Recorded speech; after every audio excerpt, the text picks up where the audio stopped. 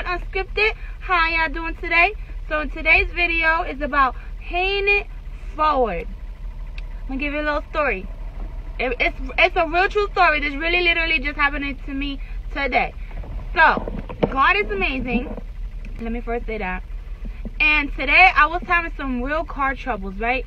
My battery was totally dead and it was just not it was not working. Like um I got a jump start from a neighbor so I could drive it to the local AutoZone and I took it there. When I got to the AutoZone, the battery the battery was totally dead. The charger piece thing that I bought um, from AutoZone was not working and they refund the money on my card so I was not able to just purchase the battery because I don't know why I just didn't think like let me just put this money towards the battery instead